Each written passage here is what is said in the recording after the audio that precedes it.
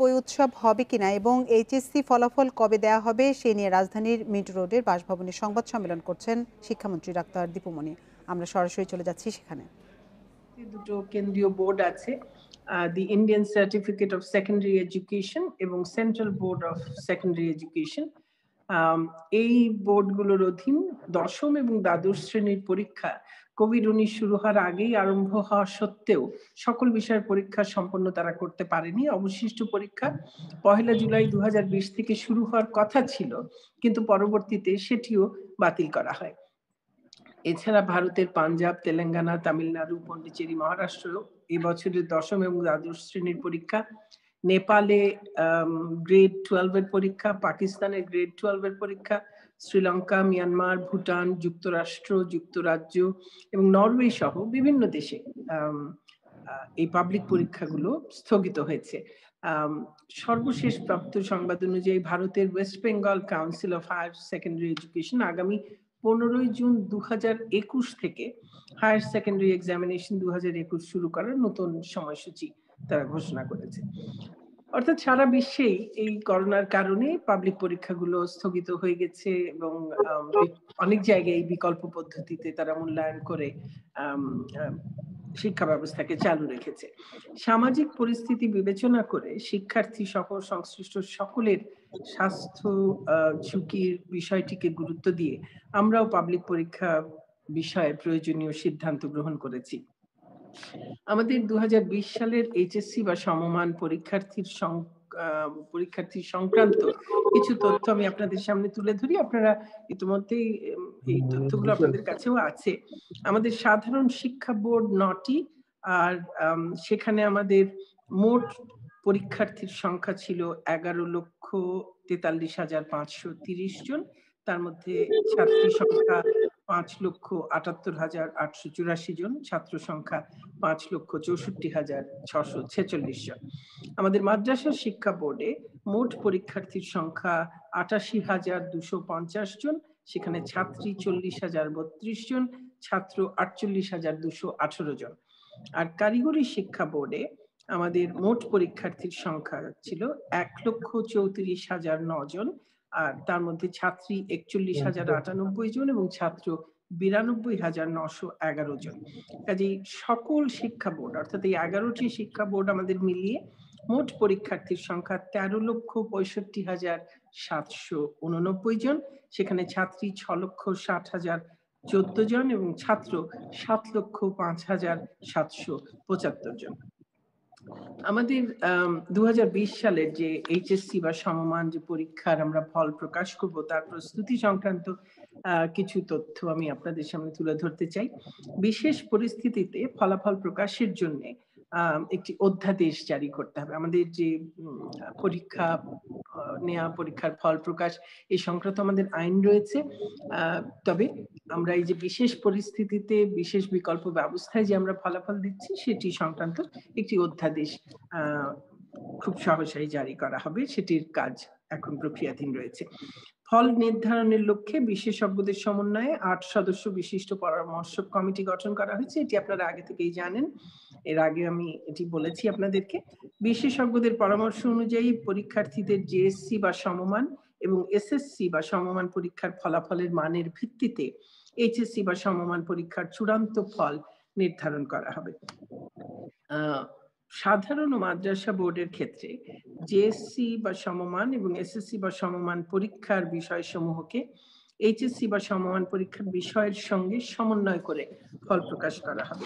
কারিগরি শিক্ষা বোর্ডের ক্ষেত্রে এসএসসি ও সমমান এবং একাদশ শ্রেণির পরীক্ষার বিষয়সমূহকে এইচএসসি ও সমমান পরীক্ষার বিষয়ের সাথে সমন্বয় করে ফলাফল প্রকাশ করা হবে। সমন্বয়কৃত বিষয়ের প্রাপ্ত নম্বরের মানের ভিত্তিতে এইচএসসি সমমান পরীক্ষার বিষয় ভিত্তিক নম্বর প্রতিস্থাপন করে বিদ্যমান পদ্ধতিতে গ্রেড পয়েন্ট নির্ধারণের মাধ্যমে গ্রেড পয়েন্ট অ্যাভারেজ চূড়ান্ত করা হবে। পরামর্শক কমিটির সুপারিশের ভিত্তিতে সাবজেক্ট ম্যাপিং করে ফল প্রকাশ করা হবে। এই বিষয়গুলো হয়তো শুনতে একটু কঠিন শোনাচ্ছে। বিষয়টা এমন যে আমাদের যে যে জেএসসির জন্য যে বিষয়গুলো থাকে এসএসসির জন্য যে বিষয়গুলো থাকে আর এইচএসসির জন্য সব তো এক বিষয় নয়। তো সেই ক্ষেত্রে আমরা এই বিষয়গুলোকে কোন বিষয়টাকে কোন বিষয় দিয়ে প্রতিস্থাপন করব সেইটা বিশেষজ্ঞরা সেটি নির্ধারণ করে দিয়েছেন যে জেএসসি এবং এসএসসির কোন কোন বিষয়গুলো আমাদের এইচএসসির কোন বিষয়ের সঙ্গে আমরা সমন্বয় করব। প্রতিস্থাপন করব কোন বিষয়গুলোর নম্বর, সেটি তারা ঠিক করে দিয়েছেন। এছাড়াও উচ্চ মাধ্যমিক পর্যায়ে গ্রুপ বা বিভাগ পরিবর্তনকারী শিক্ষার্থী বোর্ড পরিবর্তনকারী শিক্ষার্থী, উন্মুক্ত বিশ্ববিদ্যালয় থেকে আগত শিক্ষার্থী, অনিয়মিত পরীক্ষার্থী, মানোন্নয়ন পরীক্ষার্থী, সমতুল্য সনদপ্রাপ্ত পরীক্ষার্থী এবং প্রাইভেট পরীক্ষার্থীদের ফলাফল পরামর্শক কমিটির সুপারিশের ভিত্তিতে প্রকাশ করা হবে। ফলাফলে কোনো শিক্ষার্থী যদি সংক্ষুব্ধ হন তাহলে ফলাফল রিভিউ চেয়ে বোর্ডে তারা আবেদন করতে পারবে। আমি আশা করি যে সংক্ষুব্ধ হবার মতো ঘটনা ঘটবে না। কারণ এবছর তো একে তো হলো সবাই পাশ করছেন আর দ্বিতীয়ত হলো জেএসসি এবং এসএসসির তুলনায় সাধারণত কিন্তু আমাদের এইচএসসি তে ফলাফলটা নম্বর প্রাপ্তিটা একটু কম হয়। কিন্তু যেহেতু আমরা জেএসসি এসএসসি টাকেই ভিত্তি করে দিচ্ছি সে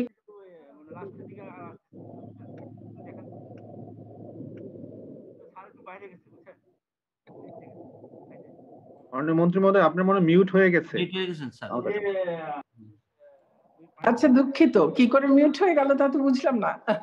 আচ্ছা মানে আমি বলছিলাম যে এবারের ফলাফল নিয়ে, এইচএসসি পরীক্ষার ফলাফল নিয়ে আমি আশা করি যে কেউ সংক্ষুব্ধ সেভাবে হবার কোনো কারণ থাকবে না। তার কারণ সাধারণত আমাদের জেএসসি বা এসএসসি তে যে ফলাফল হয়, অধিকাংশ ক্ষেত্রে, সকল ক্ষেত্রে নয়, তবে অধিকাংশ ক্ষেত্রে এইচএসসি তে তার থেকে নম্বর সাধারণত একটু কম হয়।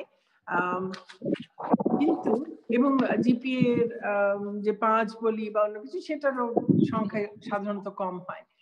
কিন্তু এবার যেহেতু জেএসসি আর এসএসসি এর উপর ভিত্তি করেই হচ্ছে, তো সেই ক্ষেত্রে তাদের নম্বর এইচএসসি তে কমে যাবার খুব কিছু ব্যতিক্রমী ক্ষেত্র ছাড়া আমার মনে হয় না যে কিছু সেভাবে সম্ভাবনা আছে। কাজেই খুব সংক্ষুব্ধ হবার আমি অন্তত কোনো কারণ দেখছি না।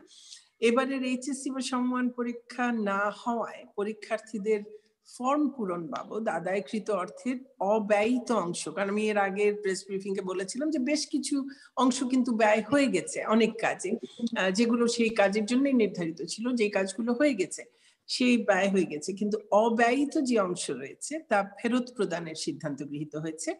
ফল প্রকাশের পরপরই এ সংক্রান্ত নির্দেশনা বোর্ড সমূহ তাদের স্ব স্ব ওয়েবসাইটে বিজ্ঞপ্তির মাধ্যমে জানিয়ে দেবে। এখন দু সালের জেএসসি বা জেডিসি পরীক্ষা সংক্রান্ত আমাদের সবার নিশ্চয়ই অনেক প্রশ্ন আছে এবং গতবারও আমাকে প্রেস ব্রিফিং এ কেউ প্রশ্ন করেছিলেন। কোভিড উনিশ জনিত পরিস্থিতির কারণে এবছর আমরা জেএসসি জেডিসি পরীক্ষা গ্রহণ করতে পারিনি, সম্ভব হয়নি। ইতোমধ্যে মাধ্যমিক ও উচ্চশিক্ষা অধিদপ্তরের নির্দেশনা মোতাবেক স্ব শিক্ষা প্রতিষ্ঠান সমূহ অ্যাসাইনমেন্টের মাধ্যমে শিক্ষার্থীদের মূল্যায়নের কাজ সম্পন্ন করেছে। ইতোমধ্যে শিক্ষা বোর্ড সমূহ জেএসসি জেডিসি পরীক্ষার্থীদের রেজিস্ট্রেশনের কাজও সম্পন্ন করেছে এবং বোর্ডগুলো এই সকল শিক্ষার্থীদেরকে উত্তীর্ণ সনদ প্রদান করবে। তবে কোনো নম্বর পত্র দেয়া হবে না। কারণ আমরা যদিও